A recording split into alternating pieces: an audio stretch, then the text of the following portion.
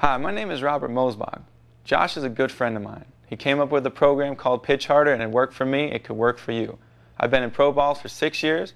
I went from 92 miles an hour to 97 miles an hour, all because of Josh's program. If it wasn't for him, I wouldn't be where I'm at right now. So I think everybody should try it, especially if you're trying to go to college, maybe pro ball. It's a great thing to do, and I think it's a great idea.